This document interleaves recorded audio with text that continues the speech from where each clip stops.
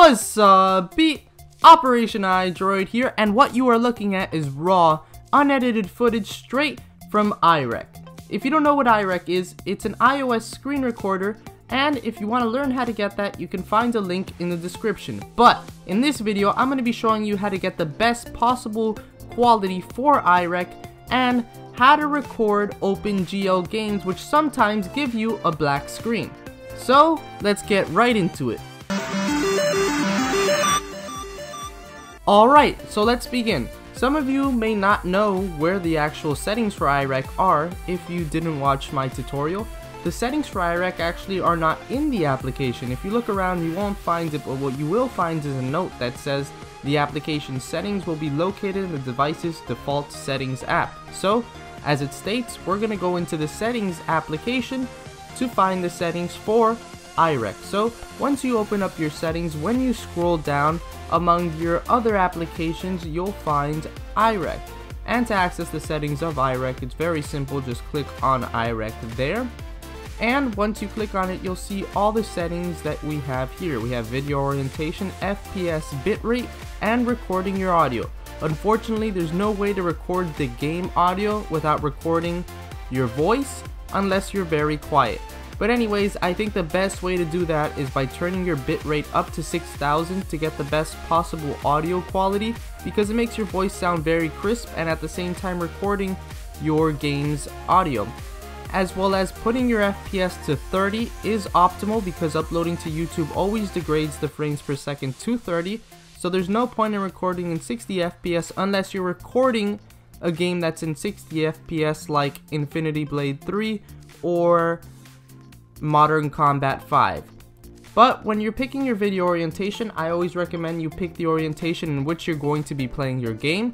I'm going to be showing you all in Portrait, which is going to be GBA for iOS, but if you're a Minecraft player or a Clash of Clans, I recommend Landscape with the home button to the right at 50 at FPS at 30 and bitrate 6000.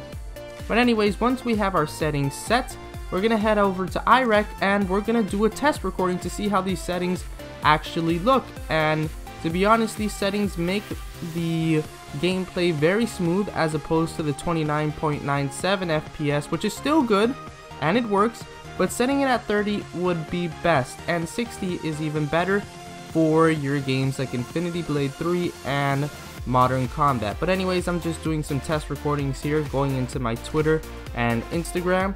If you don't follow me on there yet, highly recommend you do it. I'm always letting you guys know on what I plan for videos, and among other cool stuff. But anyways, now, the reason I'm guessing most of you all are here is to learn how to fix the black screen that you get when you're doing recordings of things like emulators or Clash of Clans, Minecraft, and at the moment you can see that it's actually recording um, the gameplay and I can see it and that's actually what you guys see. So when you're recording you see yourself playing the game but then when you stop your recording and you head over to your recordings and you watch it your screen's just black and you can hear yourself and you can hear the in-game audio because it comes out of your speakers as you're talking but it's black and you can't see anything. And the reason that that happens is because it is OpenGL. Now there's many things that have OpenGL like emulators, Minecraft, Clash of Clans, um, Infinity Blade, and those games all require OpenGL. And you can see when you try to record that with iRec, it's just a black screen.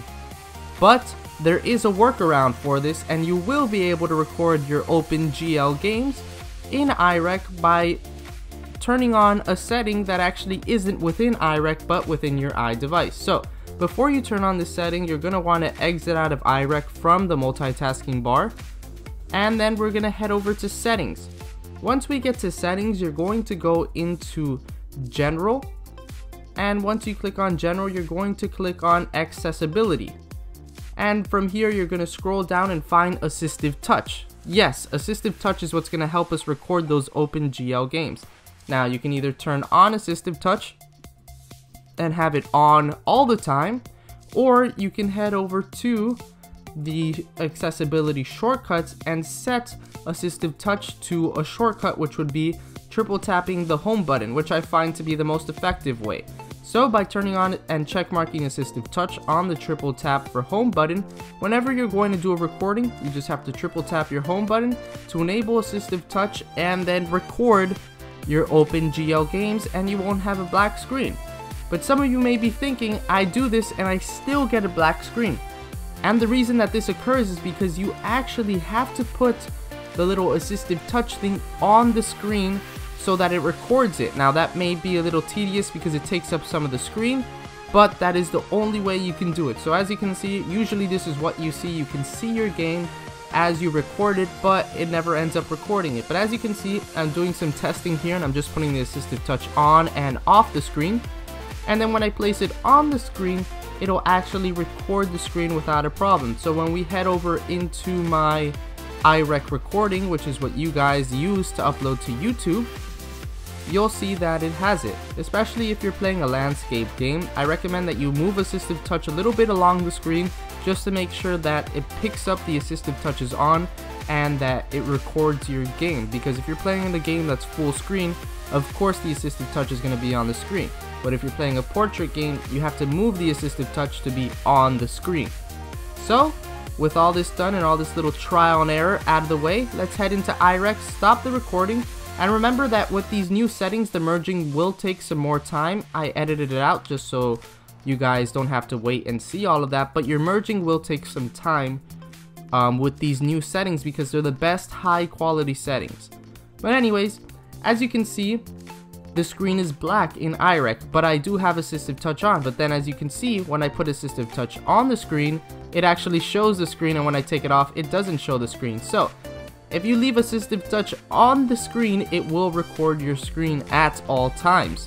Make sure that it is on the screen of your game, for example in GBA for iOS, if it isn't on the actual screen and on the black bars, it won't record it, but you only need to get a little centimeter of the assistive touch on the screen for it to record it.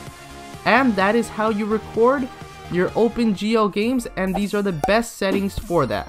I hope you enjoyed this video and I thank you for watching. If you haven't subscribed already, I definitely recommend you do because I do videos like this all the time showing you guys the best ways to do things on your iOS device.